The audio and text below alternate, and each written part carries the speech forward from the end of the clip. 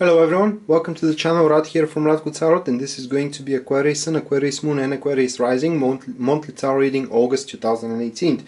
Before we start guys, if you want to go even deeper into your month, apart from that general tarot reading, you can purchase the extensive, the extensive tarot reading for just as little as $1 and there you will find two spreads, a video that contains two spreads for career and for relationship for your star sign. Now let's go to the general reading which is um, for this month I have chosen a seven card spread. Now the first card represents the topic, the, the carry on circumstances in uh, in the month of July, uh, in the month of August, excuse me, and then we do have the um, topic of the month here with the Three of Wands, followed by uh, the intentions you can have or the things you can aim for. That will be the Six of Swords, followed by the uh, King of Wands, which is the best possible approach toward the situation here.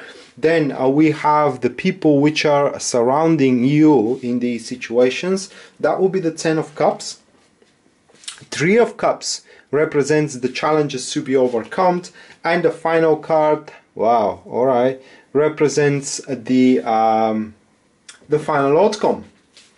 So, quite of a uh, dappled month with um, with a lot of um, enterprises, should I say? You know, a lot of things are gonna are gonna come and go.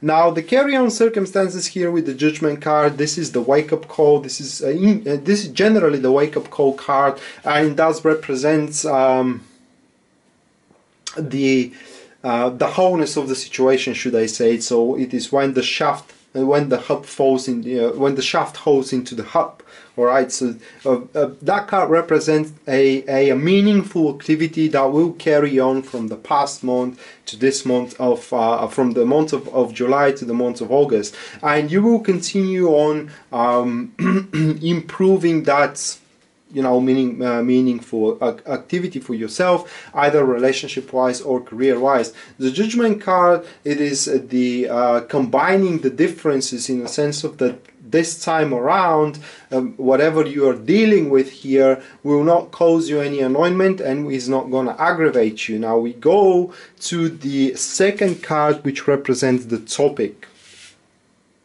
And the topic is uh, that you are going to sit on already established patterns here with the tree of uh, with the tree of wands. Uh, now knowing that uh, the efforts you're placing either into your career or either into your, your relationship will be synergized with the benefits you or with the gains should I say that you are seeing from them. So in other words you're going to uh, uh, your efforts is not going to be futile but they will have their uh, reciprocal um, reciprocal gains. And uh, the three of wands it is where you have to even aim to improve even further.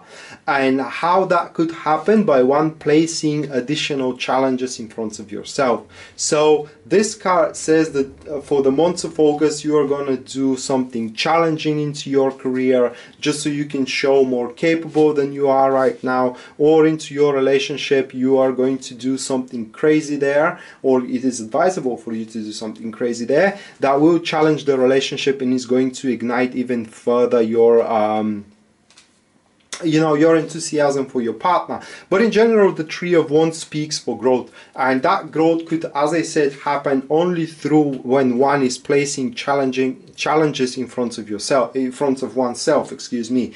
But if you aquarius is wants the month to be totally normal you know be my guest and do nothing. I mean just do what uh, what is what you're supposed to do without even putting any um, any toes behind behind to improve your performance. And there you go. You have the month that it is totally totally normal. But um, the topic of the month points that you will have the opportunities you know to improve your circumstances as I said through by uh, placing uh, additional challenges for oneself. That could be the idea for a new project, you know, that could be uh, the idea for new activity into one relationship, etc., etc. And it will be all based on the ongoing patterns that you're doing so it's not going to be something entirely risky and then we do have the six of swords which seeks which uh, sits for the intentions you should have or rather what you can achieve during that month six of swords represents transition it represents um, yeah transition and mainly the fear of that transition. In the sense of that you may start uh, you may think that you have a lot to lose but uh, if you look closely you know you will see that as i said you are sitting on an established patterns there is nothing that you can lose.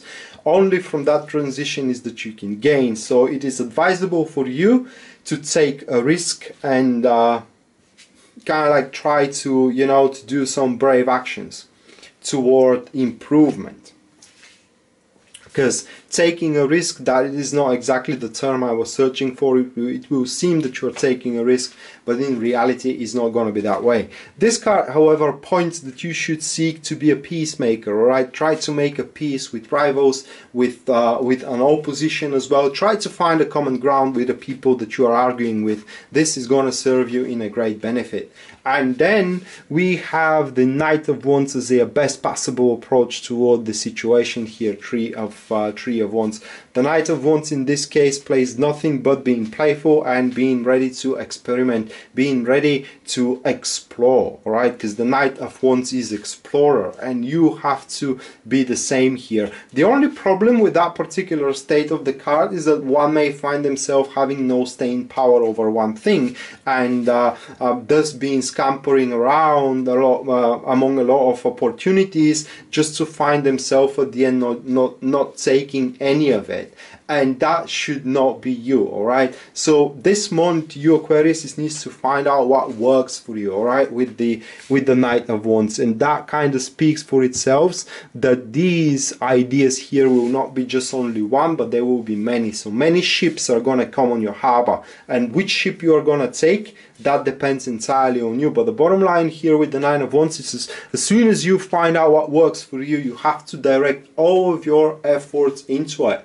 That could be related in relationship life or in career life. For example, you may date a couple of people and as soon as you see which one works for you, then you have to kind of like cut loose the rest of them, uh, the, the rest of them, yes, and focus entirely upon the one that you have chosen instead of keeping the others as a, a plan B, C, all the way to Z.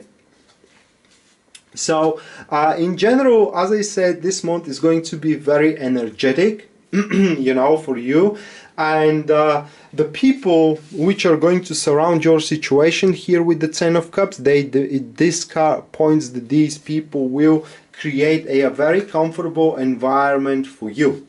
The Ten of uh, Cups it's uh, more like a family type card and it seems that only those who are most closest to you in your circle will be um, how can I place it? Will be the people who will speak the truth for you, and will be the people who are in in which you are going to find shelter. Should you find yourself overburdened? Should you find yourself in a troublesome situation, etc., etc. But the bottom line is that these people will show you that the life, your life, is yet worth living, and that whatever you are in front of here, marked by these couple of cards, you know, your ship it is something remarkable and you should not allow to slip through your fingers. But instead of slacking you know you as i said needs to start exploring your capabilities. Now for what i can get from these cards just my personal opinion here guys is that you are going to realize how um,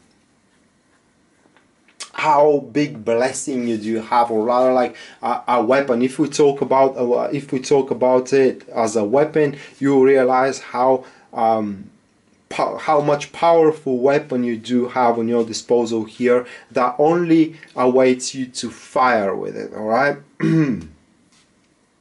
Then the three of cups as a uh, challenges to be overcome now the Three of Cups here is a bit strange card because it does point that uh, things will happen with delay. So that additionally could discourage you.